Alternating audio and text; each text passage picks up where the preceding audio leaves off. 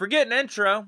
The story we're leading off with is the AB Snapchat screenshots of a conversation he had with Big Ben, presumably back in the Killer B era. It reads from AB Nothing can stop you, brother. It only gets better. We got to all play better. Me, the line, other wideouts, team, efforts, everyone. Got to keep you clean first and foremost, man. You made tackles, runs. You need to be fresh, not touch fresh, not doing all that. Then from Big Ben, I'm getting a kick out of everyone thinking there's something going on with us. We always said when you're the best, people want to knock you down. I can't wait till we show them all and shut them all up. We are the greatest of all time, and I really believe that. I need to be better, and I will be, I promise. I'm not sure why my game isn't at the top right now. I think my elbow is hurting me a lot, but I'm going to push through it. Yee yee, we the best. Interesting when you consider AB posted a screenshot of another conversation that he had with another Hall of Fame quarterback that he played with. And that screenshot and that conversation wasn't as flattering. I'm not saying TB12 did anything wrong in his message to AB. I'm not going to read it because it is pretty long and I'm assuming you guys have already checked it out. But TB12 is actually in the right. He's just looking out for AB, making sure AB can start going down a better path and getting around some better people. But isn't it obvious who AB has more respect for at this point? As he reflects on his NFL career. But should it actually even be a surprise? Because don't forget, back in the spring when AB was on a podcast and asked about which quarterback he would take. I love them all. But who was your favorite that you felt you had the most chemistry with?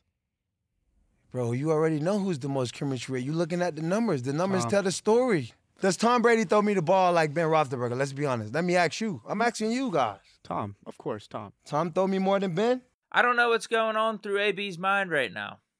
Is he regretting decisions he made here in Pittsburgh? He knows he had it so good here, but messed it up. Does he wish he had a time machine? I don't know, but moral of the story is you have one of the greatest receivers of all time who played with both Tom Brady and Big Ben, and he'd take Big Ben over Tom Brady. That's some goddamn wisdom from AB right there. And then we got some other final takeaways from the screenshotted text. Big Ben referencing his elbow hurting.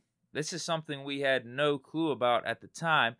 Big Ben did hint at it after he had the 2019 elbow surgery that his elbow was nagging him before the surgery. We just didn't know what the time frame was, what the extent of it was, but it looks like dude's in pain. But of course, we know who 7 is. He's a warrior. He's going to tough it out. And he still was lighting up the best defenses in the league like it was nothing, putting up elite numbers. But then you also had the text where he said, "We are the greatest of all time." I really believe that. Hurts, bro. Hurts to hear. Not saying he's wrong. I actually agree with that 100%. I'm taking 7 and 84 over Montana Rice, Aikman Irvin, whatever other QB receiver duo you want to throw out there. I'm taking Big Ben and AB. It just sucks to know there was more left out on the table. Next on the docket, though, is Minkah Fitzpatrick's recovery time is 39 superhuman. Apparently, after his appendectomy, he wanted to play in the Saints game.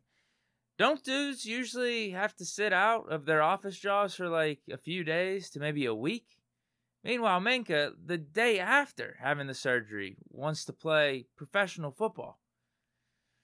Insane. And as a reference, when Big Ben had his emergency appendectomy back in 06, he was out for like two weeks, Probably should have stayed out longer because that was around the same time he had the motorcycle crash, and he wasn't right throughout that season. Joe Burrow, he had the surgery this offseason.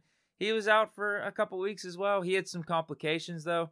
So contrast that to Minkah, who literally tried to play or wanted to play. I don't know if it was actually taken seriously the day after the surgery, but you know what is being taken seriously?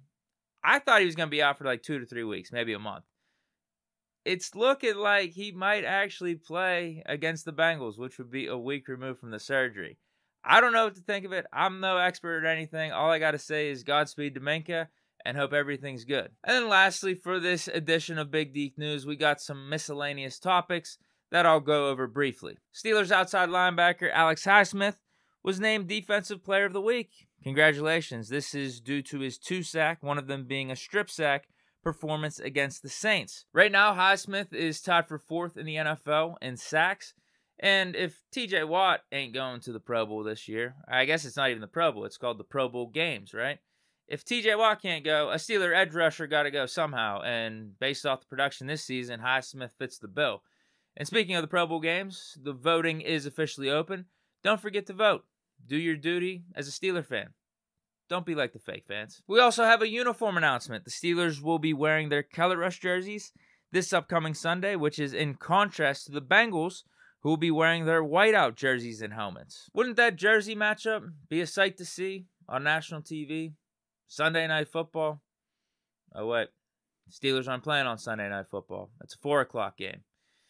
Sunday Night Football, NFL, and NBC, they chose the Chiefs, who are a team that's 7 and 2. They're already a good team. Boring. We've seen that story before. They chose that against the Chargers, a team that's just so banged up and I don't think are as good of a team as we thought. They chose that over Steelers Bengals fighting for the AFC North Division. I digress. And then I was going to talk about Mitch Trubisky potentially playing tight end for the Steelers in a Taysom Hill role because a reporter asked Tomlin that yesterday, but I don't think it's worth the time. So we're just going to pass. Simple answer is no, we're not doing that. Uh, but that's it for this edition of Big Deke News. I hope you guys enjoyed. Let me know what you guys think of some of the topics that I discussed down in the comments. Stay chilling. Enjoy your Wednesday. Peace.